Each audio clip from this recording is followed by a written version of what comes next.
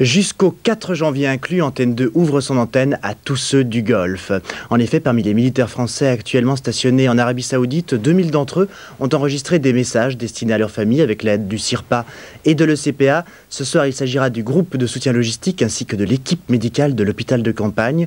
L'émission sera découpée en deux parties. La première est consacrée ce soir à tous ceux stationnés à la cité du roi Khaled. Demain, ce sera la deuxième partie en fin de programme.